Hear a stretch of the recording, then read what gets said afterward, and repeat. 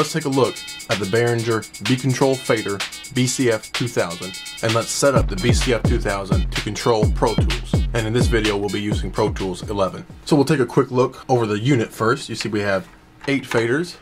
We have several buttons here. I have mine labeled for how they'll be used in Pro Tools. We have eight rotary knobs and they also function as a push down. And we also have several buttons up across the top as well.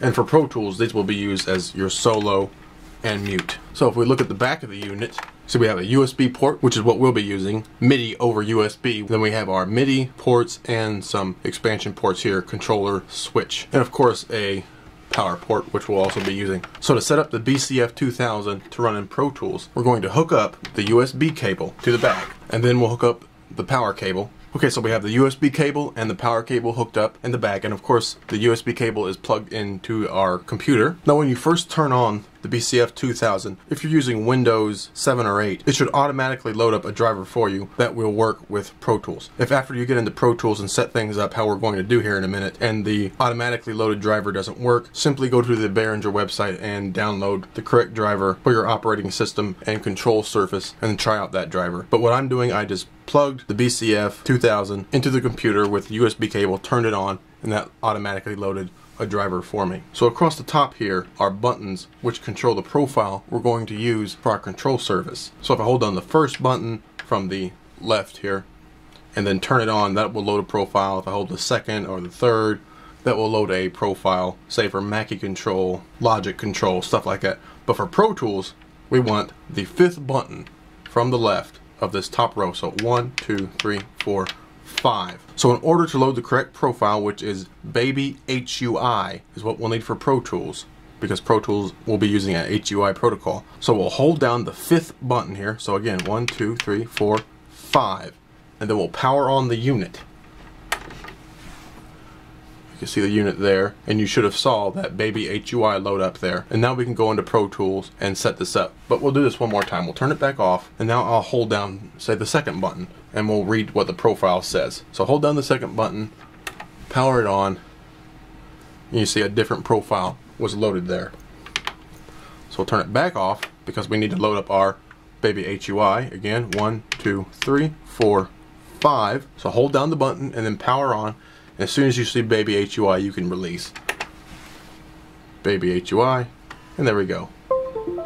Now we're good to go. You may have heard that sound of the computer, noticing that I've powered on a new USB peripheral. Hopefully you can see these rotary encoders also have lights on them. So now let's start up Pro Tools and set up our BCF 2000 to control our Pro Tools mixer.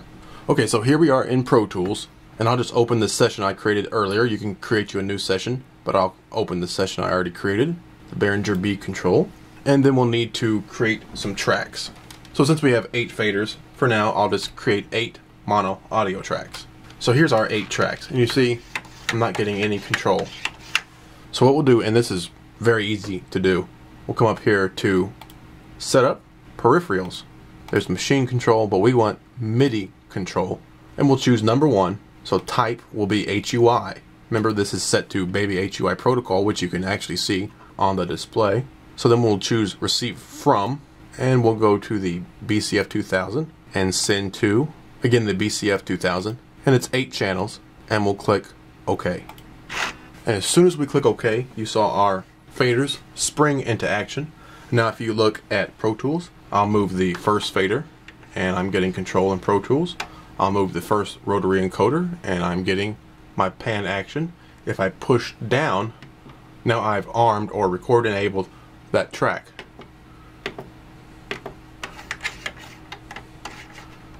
Take a look at our transport here. If I hit play, it plays, stop, it stops. I can use fast forward and reverse as well. So maybe I want to mute a track or solo a track and all that's working. You see we have lights on these buttons as well, letting us know their status. So let's create some more tracks. I'll put all these down for now. So we'll create eight more tracks, but this time eight stereo audio tracks, but I'll just make it aux tracks just so we have a different color right off the bat. So we're still controlling our first eight tracks. So here's the first fader and then the eighth fader. So what if I want to control these other tracks?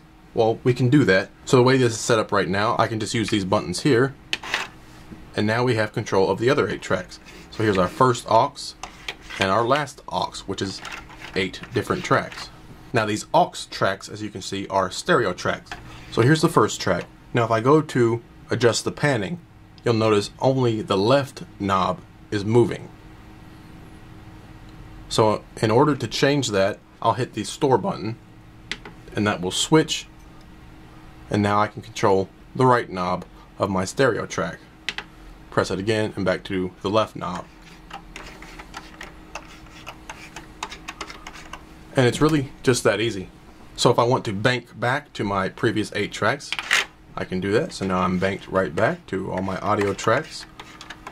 And I'll record enable the first track, switch over to the edit page, and I'll just press the record button. And there we go. Now we're recording right from our control surface. Stop, and then we can play that back, unarm our track, and play back. Pretty cool. And you can set up this BCF 2000 to do a lot of other things as well. I'm just showing you the basics of controlling the Pro Tools mixer.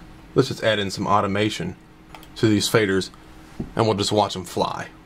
So we've drawn in a bunch of automation. We'll just hit play and watch all these faders come to life.